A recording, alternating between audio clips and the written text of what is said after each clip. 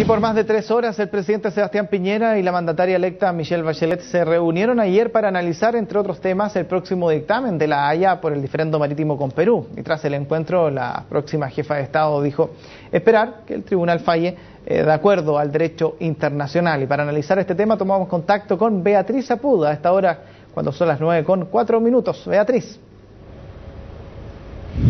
¿Cómo estás, Germán? Muy buenos días. Muy buenos días también, Paola, en el estudio.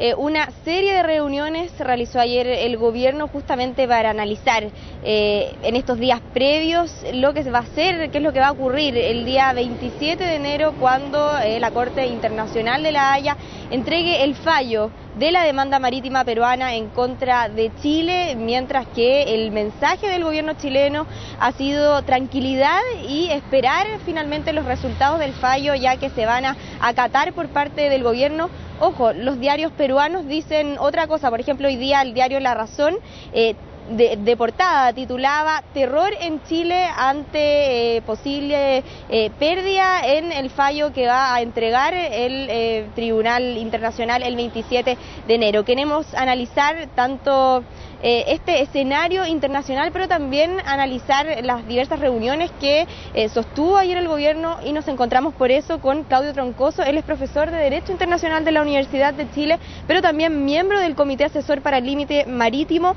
del gobierno que sabemos que se reunió ayer con el canciller Alfredo Moreno. primero preguntarle, Claudio, por esta reunión que ustedes mantuvieron ayer con el canciller.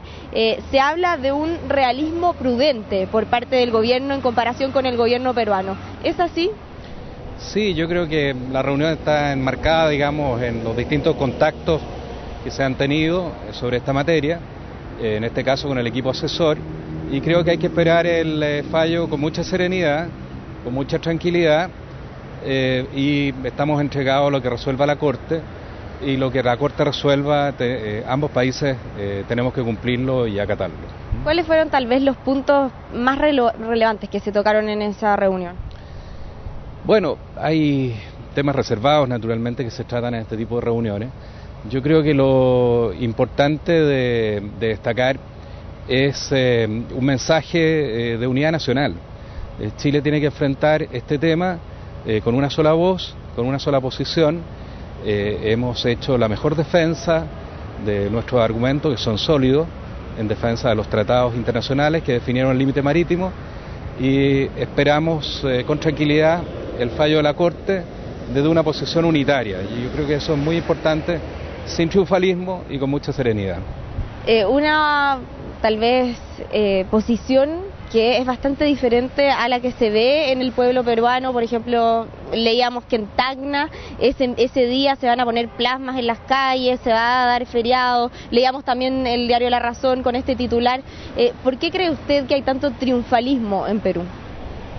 Mira, no lo sé. Yo creo que en definitiva es importante que ambos países esperen eh, el fallo con mucha serenidad, con mucha tranquilidad, sin triunfalismo eh, sin darle otra connotación, digamos, eh, espectacular eh, a este tema que es la que efectivamente tiene, que es la definición por parte de un tribunal internacional de un caso en el cual nuestro país ha sido llevado por parte del Perú y que nosotros afirmamos la existencia de estos límites marítimos. Y la verdad es que creo que expresiones triunfalistas no, no contribuyen al clima que vamos a tener que eh, seguir viviendo entre ambos países para implementar después el fallo y tener relaciones permanentes y cotidianas como, que, como son las que tenemos entre ambos países. Lo que se ha hablado y a lo que se atribuye este triunfalismo principalmente es al argumento de que la Corte Internacional es bastante salomónica a la hora de eh, entregar fallos. ¿Es así?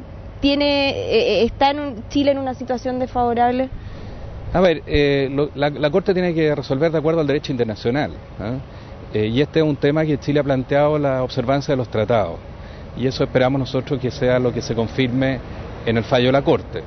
Tenemos que esperar con serenidad, con cautela también, los distintos escenarios que eh, se puedan producir en relación al fallo, pero naturalmente con la convicción de que el resultado de esta sentencia tiene que ser eh, eh, aplicado e implementado por ambas partes eh, y la, que las relaciones entre nuestros países son permanentes y esperamos que se confirmen eh, nuestros argumentos. Perfecto. ¿Y qué le pareció ayer la reunión del presidente Sebastián Piñera con la presidenta electa Michelle Bachelet?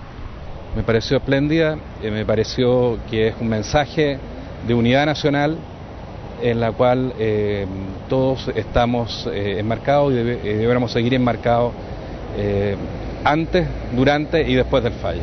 Perfecto, muchísimas gracias, le agradecemos por este contacto. Bueno, Paola Germán, el principal llamado que ha hecho el gobierno es este llamado a la tranquilidad, eh, un llamado al que también se unió la presidenta electa Michelle, Bachelet en el día de ayer.